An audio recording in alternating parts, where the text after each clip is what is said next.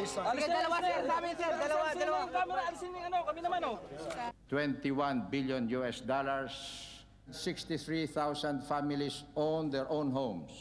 1996 reached some 490 billion pesos.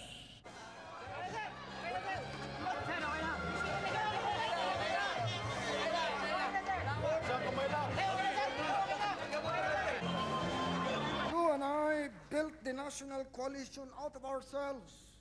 The president, you and I, will be summoned by the party to convince the nation to give them another go. A still formidable opposition in Congress. I just said a while ago, I think that we will sweep the 1998 elections. And uh, as I said, po. We're united, we're stable, and we're strong. The eight presidential, the eight presidential candidates have decided to consolidate their forces, and uh, we will be united.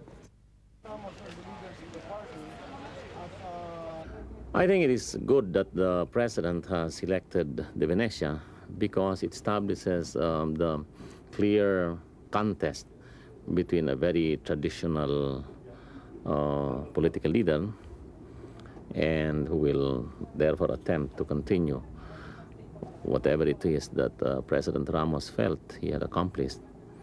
It, he comes from the same province, he comes from the same group of people.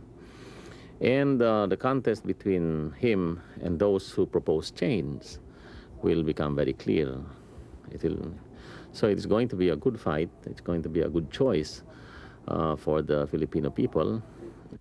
Victory Joe! Victory, Joe! Victory Joe! Victory, Joe! Victory Joe!